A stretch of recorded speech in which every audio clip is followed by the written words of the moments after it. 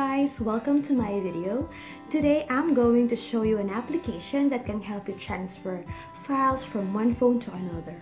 We all know that it is hard for us in some instances to transfer phone files from one phone to another, especially if they don't have the same brand.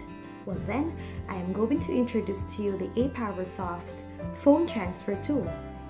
Are you excited about it? Just keep on watching. First, you need to download aPowersoft Phone Transfer on your iPhone and Android phone and then launch it.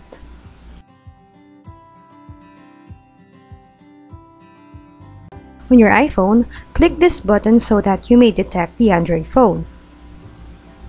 Once it is detected, click on the avatar to connect.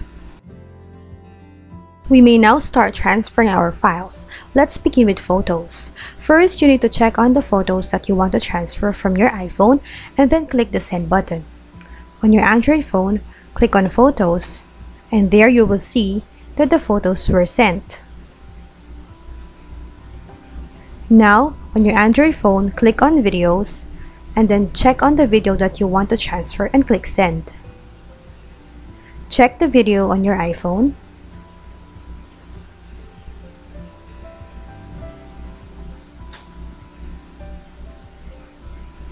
And there it is. It is now sent on your iPhone.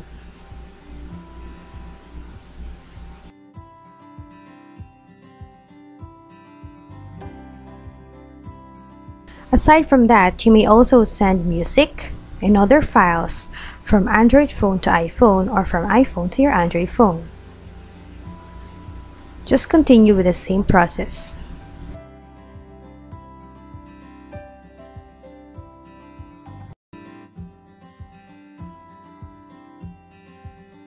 Once done, you may just click on the avatar again so that you may disconnect or if you have other question, just simply go to menu button and then click on the user guide. And that is how you can use the aPowersoft phone transfer. Thank you for watching.